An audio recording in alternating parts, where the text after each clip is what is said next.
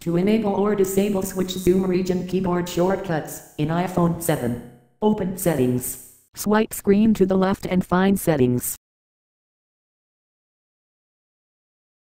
Tap settings. Scroll down settings screen and find accessibility. Tap accessibility.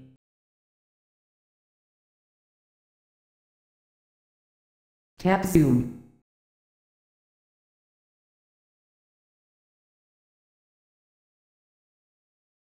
Tap keyboard shortcuts.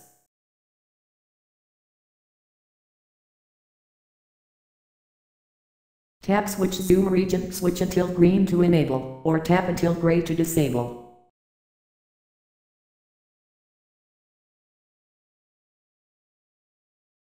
Thanks for watching. Have nice day.